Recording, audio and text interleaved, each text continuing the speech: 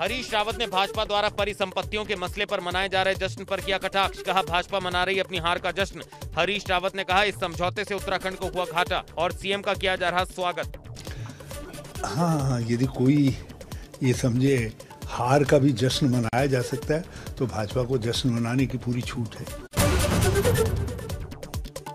राजस्थान में अशोक गहलोत और पायलट के बीच फिर से खींचतान होने पर हरीश रावत का बयान।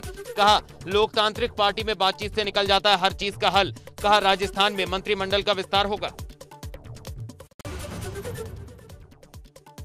पिथौरागढ़ में सैनिक सम्मान समारोह में केंद्रीय रक्षा मंत्री राजनाथ सिंह ने की शिरकत। मुख्यमंत्री पुष्कर सिंह धामी भी समारोह में शामिल। सैन्य धाम के लिए मंगवाई गई शहीदों के आँगन की मिट्टी। चुनावी मौसम में फिर गरमाया देवस्थानम बोर्ड का मुद्दा। तीर्थ पुरोहितों ने सरकार से की देवस्थानम बोर्ड को रद्द करने की मांग। 22 नवंबर से देहरादून में बुलाई गई महापंचायत।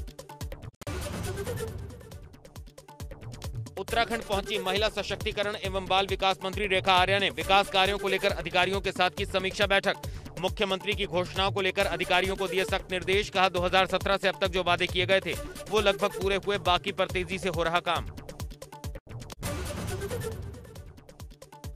तीनों कृषि कानूनों की वापसी के फैसले पर अल्मोड़ा के सांसद अजय टमटा ने पीएम की तारीफ़ की।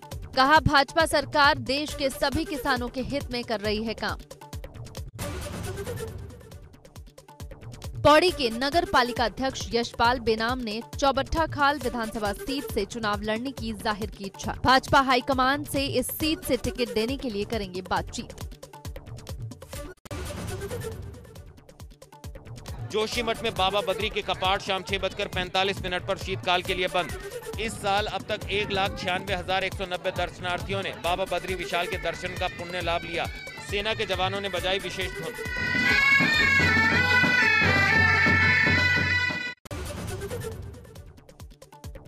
मुरादाबाद में डॉक्टरों की लापरवाही ने ली घायल शख्स की जान। सड़क हादसे में घायल शख्स को निजी अस्पताल की इमरजेंसी में तैनात डॉक्टरों ने मृत घोषित किया। जिला अस्पताल के डॉक्टर ने भी पुलिस को घायल शख्स की मौत की पुष्टि कर दी और रात भर मोर्चरी में ठंड में लेटने और इलाज न मिलने से शख्स की मौत हो गई। स्वास्थ्य विभाग के अधिकारी मामले की कर रहे जाँच श्रावस्ती जिला अस्पताल में दवाओं और ज़रूरी उपकरणों की खरीद में करोड़ों की गड़बड़ी का मामला आया सामने। लगभग पौने दो करोड़ के घोटाले की आशंका। डीएम ने जिला अस्पताल में निर्माण और इंस्ट्रूमेंट खरीद की जाँच के लिए सीडीओ की अध्यक्षता में टीम का किया गठन। पिछले पाँच साल के रिकॉर्ड की होगी जाँच। रायबरेली के जिला अस्पताल में लगा गंदगी का अंबार। फैली बदबू से मरीजों और तीमारदारों का खड़ा होना मुहाल। पैर में प्लास्टर बांधे एक महिला वार्ड के बाहर ज़मीन पर लेटी दिखी। स्वास्थ्य कर्मी भी रहते नदारत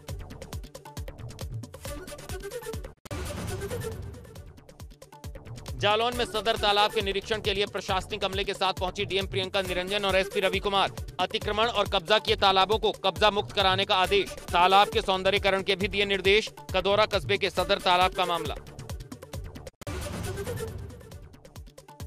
सिद्धार्थनगर में डीएपी खाद को लेकर हाहाकार की स्थिति। सरकार के दावों के बावजूद किसानों को नहीं उपलब्ध हो रहा समुचित मात्रा में खाद।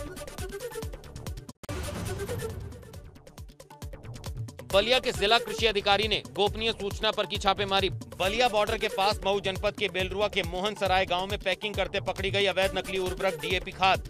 फैक्ट्री से 200 बोरी बालू और 100 बैग डीएपी और सिलाई मशीन बरामद। आगरा में बह रही यमुना में प्रदूषण से नदी में मर रही मछलियाँ। इस मौसम में पानी में ऑक्सीजन की हो जाती है कमी। शहर के 90 में से 29 नालों को टेप कराया गया। गाजियाबाद के सहीबाबाद थाना क्षेत्र के रजनीगंधा अपार्टमेंट के पास वृंदावन ग्रीन सोसाइटी के आगे चेन स्नेचरों को दिखा आतंक।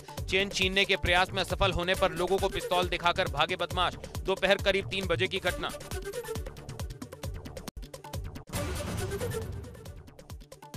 रामनगर में दो पक्षों में हुई लड़ाई। काशीपुर के व्यापारी ने अपनी लाइसेंसी, पिस्तौल से चलाई गोली, एक शख्स घायल। भीड़ ने व्यापारी को पकड़कर पीटा, पुलिस ने व्यापारी को हिरासत में लिया।